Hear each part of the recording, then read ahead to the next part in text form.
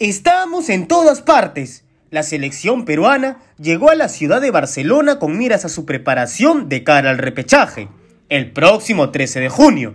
El combinado liderado por Ricardo Gareca aterrizó en suelo catalán y de inmediato fue recibido por una multitud de aficionados bicolores, mostrando así su apoyo incondicional.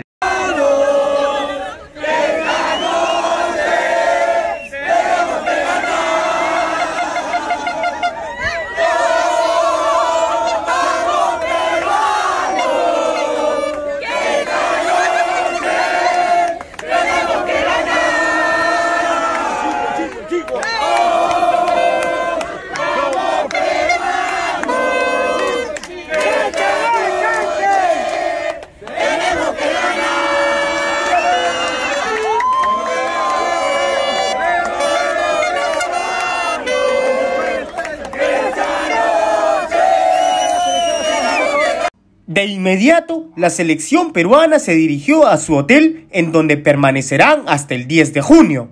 Se espera que este lunes 30 de mayo el grupo completo se ponga a disposición de Ricardo Gareca y su comando técnico de cara a los encuentros pactados.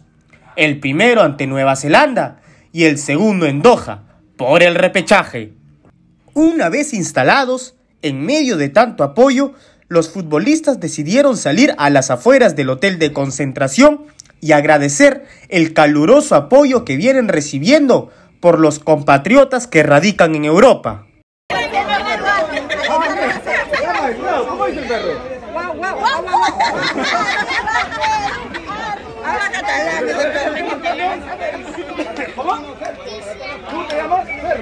Es importante recalcar que aún faltan incorporarse algunos jugadores, como Gianluca Lapadula, Sergio Peña, Miguel Trauco, André Carrillo y Cristian Cueva.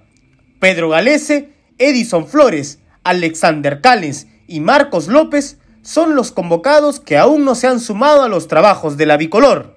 De esta manera, se espera que este lunes se sumen todos a los trabajos de Ricardo Gareca y su comando técnico.